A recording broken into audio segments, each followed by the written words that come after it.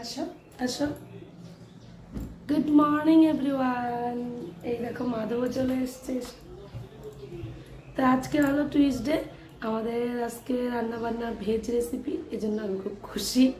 এই যে দেখো মাধবও চলে এসে স্নান করে পুজো দিয়ে আসলাম। শাশুড়ি মা রান্না বসিয়েছেন। আমি হেল্প করি করে দিয়ে এসেছি।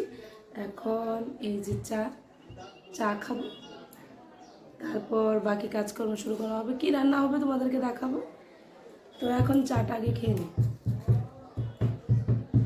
চার মধ্যে বিস্কিট ডুবিয়ে খেতে খুব ভালো লাগে। আর আজকে শাড়ি পরেছি তোমরা জিজ্ঞে- উম, ভাবতে পারো কেন? আমার মেয়ে অনেক দিন ধরে বলছে যে শাড়ি পরতে। তো ফাইনালি আজকে শাড়ি পরলাম দেখো।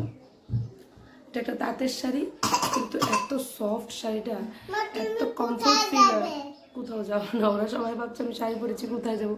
কোথাও যাব না। আর এত সফট শাড়িটা মানে কি বলব, গরমের সিজনের জন্য একদম পারফেক্ট দারুণ শাড়িটা। তো এখন চাটা খেয়ে নিই। তো আজকের সকালটা ফ্রেন্ডস একদম এক প্রকার লেজি বলতে পারো। কারণ রান্না বান্নার তেমন কোনো প্রেশার নেই। তো ডাল রান্না করা হয়েছে আজকে যেহেতু টুইসডে তো নিরামিষ হবে। তো নিরামিষই হয়েছে। দেখো, ডাল রান্না করা হয়ে গেছে মুগ ডাল। মুগ ডালটা আমাদের টুইসডেতে ম্যাক্সিমাম টাইমে হয়ে থাকে। আর এই যে দেখো, কাল রাত্রে কুলের আচার করেছিল আমার শাশুড়ি মা, তো কুলের আচারটাই রয়েছে। ঠান্ডা না হওয়া পর্যন্ত এটাকে আমি কোনো কৌটুতে ঢুকাতে পারি না। তো কাল রাত্রে যেহেতু করা হয়েছে, এখন পর্যন্ত ঠান্ডাই হয়ে গেছে, শুধু টাইম পাচ্ছিলাম না। তো ওইদিকে আমি একটু সয়াবিনের সবজি রান্না করে নেব। সব কিছুই তো রান্না হয়ে গেছে আলু ব্রকলি ভাজা হয়ে গেল মুগ ডাল হয়ে গেলো আর আচার আছে ডাল দিয়ে আটা- আচার দিয়ে খেয়ে নেওয়া যাবে। তো এদিকে একটু সয়াবিন আর আলুর তরকারি করে নেব আমি। কারণ সয়াবিন আর আলুর তরকারিটা না করলে সোনাই খাওয়া হবে না সোনাই আবার আচারটা পছন্দ করে না। তো নর্মালভাবে যেভাবে আমরা সবসময় সয়াবিন আর আলুর সবজিটা করে থাকি এভাবে করে নিয়েছি। আর মশলা আমি মিক্সারে গ্রাইন্ড করে নিই মশলাটা আমি এইভাবেই আহ, আদাটা গ্রেড করে বাকি গুঁড়া মশলা দিয়ে দিয়েছি। আর বাকিটা আমি কমপ্লিট করেছি। সয়াবিনের ঝোল রান্না করেছি। আজকে যেহেতু নিরামিষ, কী করব? আর তোমরা ভাবতে পারো যে প্রত্যেক দিন সয়াবিন সয়াবিন প্রত্যেক নিরামিষ দিনে।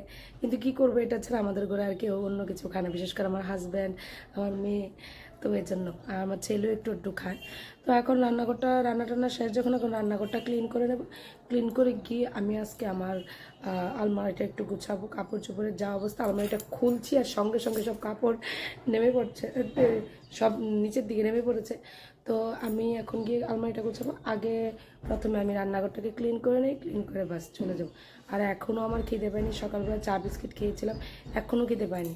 আর আমার হাজব্যান্ডকে চা করতাম তো আস্তে আস্তে অনেক দেরি। তো দেখো, রান্নাঘরটা ক্লিন করতে চলে এলাম। যেহেতু আজকে তেমন কোনো আমিষের কোনো ভেজাল নেই, তো ক্লিন করতে কোনো অসুবিধা নেই, গায়ে লাগলেও কোনো প্রবলেম নেই। তো আমি উপরের জায়গাগুলো প্রথমেই আমি পরিষ্কার করে নিয়েছিলাম। রান্না করতে করতে আমি পরিষ্কার করে নিই এই জায়গাগুলো। আমার তেমনটা আবার ভরে না। আর নিচে আমি ফ্লোরটাকে ভালোভাবে মুছে নিয়েছি। বাস মুছে এখন আবার কার্পেটটা বিছিয়ে দিয়েছি। আর ওদিকে মাধবের স্নান হয়ে গেছে। ওকে ড্রেস পরিয়ে দিচ্ছি ক্রিম লোশন মাখিয়ে দিচ্ছি। এখন তেমনটা ক্রিম লোশন লাগাই না, গরম এসে পড়েছে। আর এই ব্যাড কাভারটা একটু আর সরি টেবিল কাভারটা একটু চেঞ্জ করে নিলাম। আর এইদিকে দেখো, আমি এটা আমার মধু। তো মধুটাকে আমি অন্য আরেকটা কাচের বয়ামে শিফট করে নিয়েছি। আর মধুর যে বয়ামটা ছিল, এটাকে ভালোভাবে ধুয়ে পরিষ্কার করে এটার মধ্যে আচারটা রেখেছি। তাহলে না, আচারটা কাচের বয়ামে রাখলে আচারটা রোদে দিতে সুবিধা হয়। প্লাস্টিকের বয়ামে রাখলে তেমন একটা ভালো থাকে না মনে হয়। হলো ব্রকলি হলো ভাজা। অল্প একটু নিয়েছি আমার খাওয়া একদম ইচ্ছে নেই। সয়াবিনের তরকারি। বাস এই লাগলে আমি ডাল আছে ডাল নেব। তো লাঞ্চটা কমপ্লিট করে নিই তারপর সোনাইকে আর মাধবকে খাইয়ে দেবো। তো এখন লাঞ্চ করতে এসে গেছি লাঞ্চটা করে নিই আমার একদম খাওয়ার ইচ্ছে নেই বিশেষ করে চা খেয়েছি। আমার খাওয়া দাওয়ার ইচ্ছা নেই। আজকে আমার একদম মন মতন কিছুই রান্না করা হয়নি। আর সোম বাড়িতে নেই তো রান্না বান্নার তেমন কোনো তোর জন্য সোম বাড়িতে থাকলে রান্না বান্নার একটা একটা সিস্টেম থাকে যে ও কী দিয়ে খাবে। আর ও যেহেতু বাড়িতে নেই তো তেমন একটা কিছু নেই। তো এখন আমি খেয়ে নেব, তারপর ওদেরকে খাওয়াবো। তো খাওয়া দাওয়ার পর দুপুরবেলা বাসনপত্র থাকে যেগুলো, এগুলোকে আমি ভালোভাবে মেজে নিচ্ছি। বাসন তো সারাদিনে কম জমে না। আর একটা কি বলতো, আমা- আমাদের হাউস ওয়াইফদের না একটা খুঁতখুঁতে স্বভাব আছে যে সিঙ্কে বাসন জমিয়ে রাখতে পারি না। সবাইকে আমার সাথে একমত? আমার মনে হয় সবাই একমত যে সিঙ্কে বাসন জমিয়ে রাখাটা সবার পক্ষেই অসম্ভব।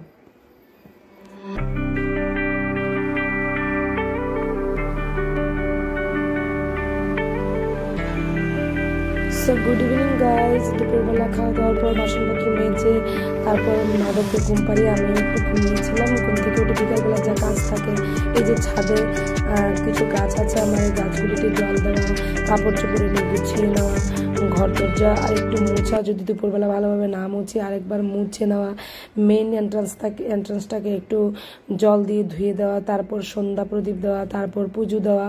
তো এইসব কিছু সারার পর আমি পুজো দেওয়ার পর এখন দেখো পুজোর বাসনগুলি নিয়ে এসেছি আর মাধবকে মাধবের টিচারের বাড়িতে দিয়ে এসেছি। তো ডাল নিয়ে এসেছিলাম, ডালগুলো গুছিয়ে নেব। একটা ডিবিতে জায়গা হয়নি তো আরেকটাতে নিয়ে নেব। এটাতে রেখে তারপর আরেকটাতে রেখে আর দুভাগে করে রাখলেই সুবিধা হয়। হাতের কাছে কিছুটা থাকে আর বাকি কিছুটা একটু অন্য জায়গার মধ্যে রেখে দিলে যদি ওটা হাতের কাছে একটা শেষ হয়ে যায় তাহলে ওটা টান দিয়ে আবার করা যায়। বাস একটু সেভ করে আমি মনে করি যে কোনো কিছুই বাজার থেকে আনার পর দু ভাগে রাখলে সেভ করে রাখা যায়। এটা আমার মতে। তো দেখো এটা আমি গুছিয়ে নেব। তারপর কিছু আটা নিয়ে এসেছিলাম, তো আটাগুলোও গুছিয়ে নিয়েছি। আর চিনি নিয়ে এসেছি, তো চিনিটাকে আমি দুটো জায়গায় সেম টু সেম রেখে দেবো। একটা জায়গায় রেখে তারপর আর একটা কোটোতে রেখে দেবো। চা করার সময় আমার চিনিটা প্রচণ্ড লাগে, কারণ আমরা সকালবেলাও যাতে চিনি খাই, দুপুরবেলাও যাতে চিনি খাই, আবার বিকেলবেলাও যাতে চিনি খাই। আগে আমার শাশুড়ি মা সুগার ফ্রি খেত, এখন উনি সুগার ফ্রিও খায় না, তো আমার চিনিটা বেশিই লাগে, যদিও চাতেই লাগে। জানি চাতে চিনি খাওয়াটা ভালো না, কিন্তু কি করব বলো?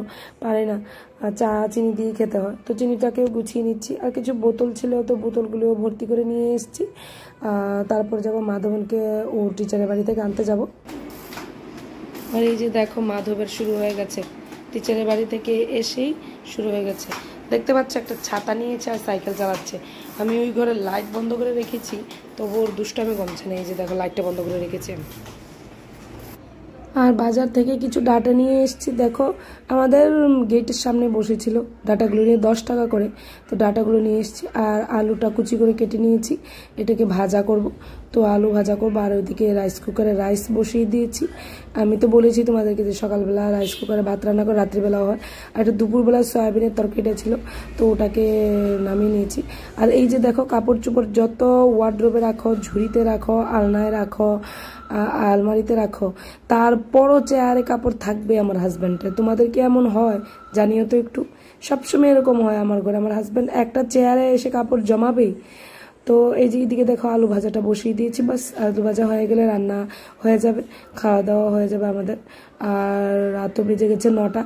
তো তাড়াতাড়ি করে তোমাদের কাছে আমি ব্লগটা আপলোড করি, তোমরাও দেখতে পাবে। তো টিল দেন বাই বাই ভালো থাকবে, সুস্থ থাকবে।